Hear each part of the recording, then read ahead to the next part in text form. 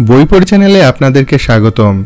বইপড়ি Android অ্যাপসটি download করতে ডিসক্রিপশনে দেওয়া গুগল ড্রাইভের লিঙ্ক থেকে বইপড়ি অ্যান্ড্রয়েড অ্যাপসটি ডাউনলোড করে আপনার মোবাইলে ইনস্টল করে নিতে পারেন।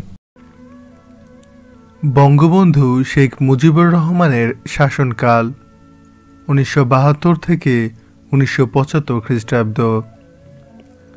বঙ্গবন্ধু শেখ মুজিবুর রহমান উনিশশো একাত্তর সালের বাংলাদেশের স্বাধীনতা ঘোষণা করেন। স্বাধীনতা ঘোষণার পর পাকিস্তানি সেনাবাহিনী উনিশশো একাত্তরের ছাব্বিশে মার্চ প্রথম প্রহরেই বঙ্গবন্ধুকে গ্রেপ্তার করে ঢাকা থেকে পশ্চিম পাকিস্তানে নিয়ে যায়। মুক্তিযুদ্ধের নয় মাস তিনি কারাগারে বন্দী ছিলেন। পাকিস্তান সরকার তার বিরুদ্ধে রাষ্ট্রদ্রোহিতার অভিযোগে সামরিক আদালতে বিচার কার্য শুরু করে। প্রহসনের বিচারে তার বিরুদ্ধে ফাঁসির রায় দেয়া হয়। উনিশশো একাত্তর সালের ষোলোই ডিসেম্বর চূড়ান্ত বিজয় অর্জনের পরেও বঙ্গবন্ধু পাকিস্তানের কারাগারে বন্দী ছিলেন। তিনি বেঁচে আছেন কি না, তাও দেশের মানুষ জানত না। বঙ্গবন্ধুর জন্য উদ্বেগ উৎকণ্ঠায় নিমজ্জিত ছিল সারা দেশের মানুষ। অধীর অপেক্ষা কবে আসবেন মহান নেতা? অবশেষে উনিশশো বাহাত্তর সালের দশই জানুয়ারি বঙ্গবন্ধু দেশে ফিরে এলেন। বঙ্গবন্ধুর দেশে ফেরা বা স্বদেশ প্রত্যাবর্তন। উনিশশো বাহাত্তর সালের দশই জানুয়ারি দেশে ফেরার আগে বঙ্গবন্ধুকে পাকিস্তানি বাহিনীর বিশেষ বিমানে লন্ডনে নিয়ে যাওয়া হয়। অতঃপর ব্রিটিশ রাজকীয় কমেট বিমানে দিল্লি হয়ে তিনি ঢাকায় আসেন। ঢাকায় মহান নেতাকে জানানো হয় অভূতপূর্ব অভিনন্দন। ভালোবাসায় সিক্ত হলেন বঙ্গবন্ধু। নিজে কাঁদলেন, জনতাকেও কাঁদালেন। অভিসংবাদিত নেতার প্রতি জনগণের আবেগময় অভিনন্দন ছিল স্বতঃস্ফূর্ত। পুরাতন বিমানবন্দর থেকে রমনা রেসকোর্স ময়দান পর্যন্ত লক্ষ লক্ষ জনতা উপস্থিত হয় প্রিয় নেতাকে এক নজর দেখার জন্য। রেসকোর্স ময়দানে বঙ্গবন্ধু তার বক্তৃতায় সদ্য স্বাধীন রাষ্ট্রের আশুকরণীয় ও নীতি নির্ধারণের বিষয়ে দিক নির্দেশনা প্রদান করেন। যুদ্ধবিধ্বস্ত দেশ পুনর্গঠন নবীন রাষ্ট্র হিসাবে বিশ্বের অন্যান্য রাষ্ট্রের স্বীকৃতি এবং বাংলাদেশ রাষ্ট্রের প্রকৃতি সম্পর্কে তিনি স্পষ্ট বক্তব্য দেন। তিনি বলেন, বাংলাদেশ একটি আদর্শ রাষ্ট্র হবে, আর তার ভিত্তি বিশেষ কোনো ধর্মভিত্তিক হবে না। রাষ্ট্রের ভিত্তি হবে গণতন্ত্র, সমাজতন্ত্র, বাঙালি জাতীয়তাবাদ ও ধর্মনিরপেক্ষতা। সংসদীয় পদ্ধতির সরকার ব্যবস্থা। মুক্তিযুদ্ধের সূচনা লগ্নে গঠিত বাংলাদেশ সরকারের রাষ্ট্রপতি ছিলেন বঙ্গবন্ধু শেখ মুজিবুর রহমান। বাংলাদেশের সরকার ব্যবস্থার ধরন কি হবে এ সম্পর্কে তখনও কোনো সিদ্ধান্ত গ্রহণ করা হয়নি। স্বদেশ প্রত্যাবর্তনের পরদিনই উনিশশো বাহাত্তর সালের এগারোই জানুয়ারি বঙ্গবন্ধু মন্ত্রিসভায় দীর্ঘ আলোচনার পর অস্থায়ী সংবিধান আদেশ জারির মাধ্যমে দেশে সংসদীয় পদ্ধতির সরকার ব্যবস্থা প্রবর্তন করেন। বারোই জানুয়ারি বঙ্গবন্ধু শেখ মুজিবুর রহমান প্রধান বিচারপতি আবু সাদাত মোহাম্মদ সাইমের নিকট প্রধানমন্ত্রী হিসাবে শপথ গ্রহণ করেন। একই দিনে রাষ্ট্রপতি হিসাবে নিয়োগ লাভ করেন বিচারপতি আবু সাইদ চৌধুরী। এই ব্যবস্থা সংসদীয় গণতন্ত্রের প্রতি তার গভীর আস্থার পরিচয় বহন করে। উনিশশো বাহাত্তর সালের বারোই জানুয়ারি থেকে উনিশশো পঁচাত্তর খ্রিস্টাব্দের পনেরোই আগস্ট পর্যন্ত বঙ্গবন্ধুর নেতৃত্বে বাংলাদেশ সরকার পরিচালিত হয়। এই সরকার মাত্র তিন বছর, সাত মাস, তিন দিন দায়িত্ব পালনের সুযোগ পায়। এই স্বল্পতম সময়ে তিনি পাকিস্তানি হানাদার বাহিনীর ধ্বংসযজ্ঞ থেকে দেশকে গড়ে তোলা এবং আন্তর্জাতিক স্বীকৃতি আদায়ের মাধ্যমে বহির্বিশ্বের সম্মানজনক ভাবমূর্তি নির্মাণের অনন্য সাধারণ অবদান রাখেন। যুদ্ধের পর কীভাবে দেশ গড়ে তোলা হলো? স্বাধীনতা পরবর্তী বাংলাদেশের অবস্থা ছিল ভয়াবহ। আক্ষরিক অর্থে শূন্য হতে যাত্রা শুরু করে বঙ্গবন্ধু সরকার। পাকিস্তানি বাহিনীর পোড়ামাটি নীতির কারণে বাংলাদেশ ভূখণ্ড এক বিধ্বস্ত জনপদে পরিণত হয়। প্রশাসন, ভৌত অবকাঠামো সবকিছু ছিল বিপর্যস্ত। আন্তর্জাতিক ক্ষেত্রে ভারত ও ভুটান ব্যতীত কোনো রাষ্ট্র বাংলাদেশকে স্বীকৃতি দেয়নি। সামগ্রিকভাবে পরিস্থিতি ছিল অত্যন্ত হতাশাজনক।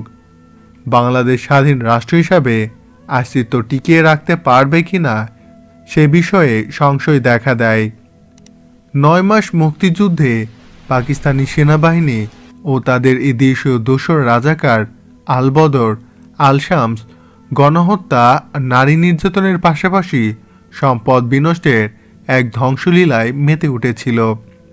সারা দেশে প্রায় তেতাল্লিশ লক্ষ বসতবাড়ি তিন হাজার অফিস ভবন, আঠারো হাজার প্রাথমিক বিদ্যালয়, ছয় হাজার হাই স্কুল ও মাদ্রাসা নয়শত কলেজ ভবন ও উনিশ হাজার গ্রামীণ হাটবাজার জ্বালিয়ে দেয়। পরিকল্পিতভাবেই পাকিস্তানি বাহিনী যোগাযোগ ব্যবস্থাও ধ্বংস করে দেয়। দুইশো চুয়াত্তরটি ছোট বড় সড়ক সেতু ও তিনশোটি রেল সেতু ধ্বংস হয়। রেলওয়ে ইঞ্জিন, বগি ও রেল লাইনেরও ব্যাপক ক্ষতি সাধন করে। মাইন পুঁতে রাখার কারণে নৌবন্দরগুলো ব্যবহার করা সম্ভব হয়নি। চূড়ান্ত পর্যায়ের পূর্বে পাকিস্তানি সেনাবাহিনী ব্যাংকসমূহে রক্ষিত কাগজের নোটগুলো জ্বালিয়ে দেয়। গচ্ছিত স্বর্ণ লুট করে নিয়ে যায়, ফলে ব্যাংকগুলো তহবিল শূন্য হয়ে পড়ে। পুনর্বাসন ও পুনর্গঠনের কঠিন দায়িত্ব নিয়ে কাজ শুরু করে সরকার।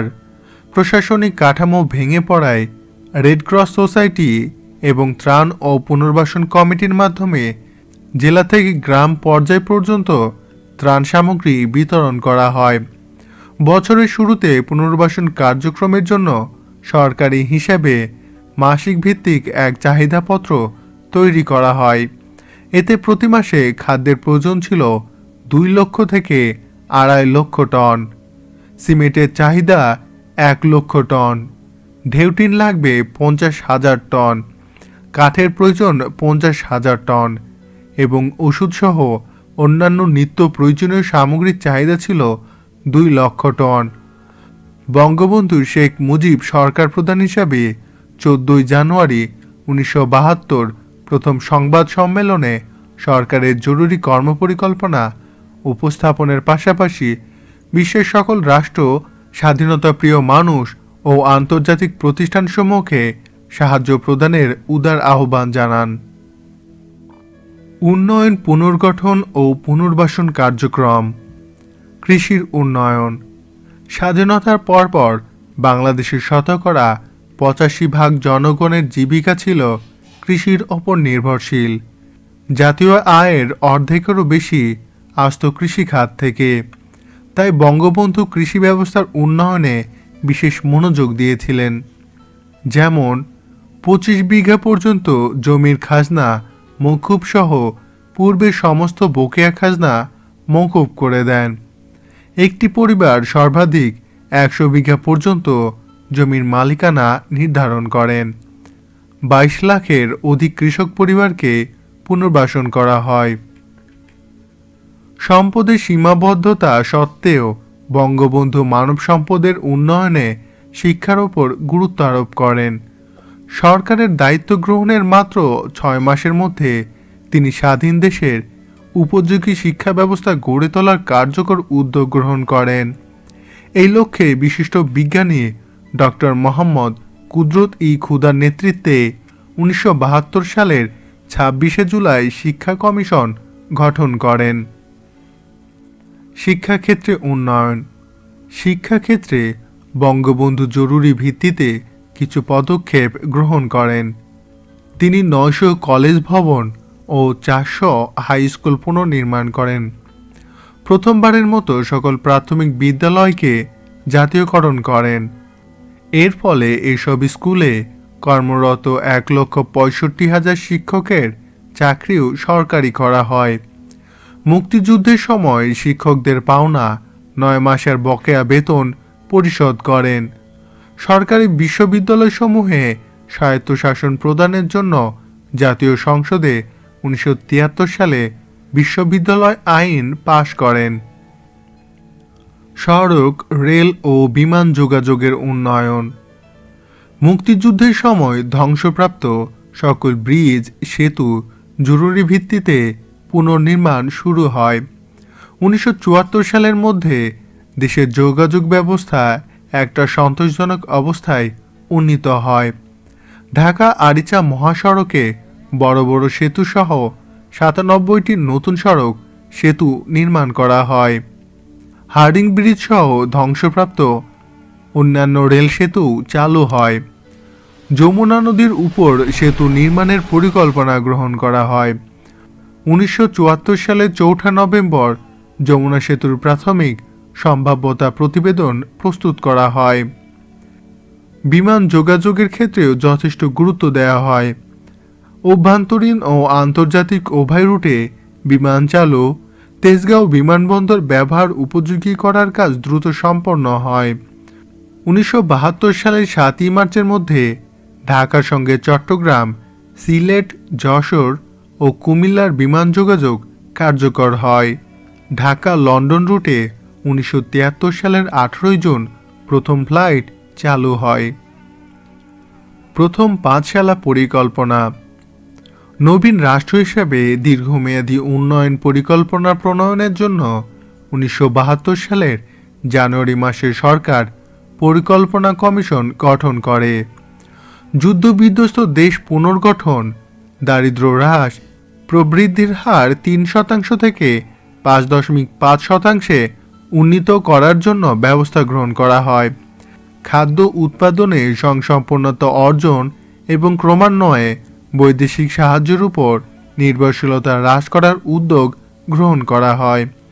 এছাড়া সামগ্রিক অর্থনৈতিক উন্নয়নের লক্ষ্য নিয়ে প্রথম পাঠশালা পরিকল্পনা উনিশশো তিয়াত্তর খ্রিস্টাব্দের পহেলা জুলাই থেকে কার্যকর করা হয়।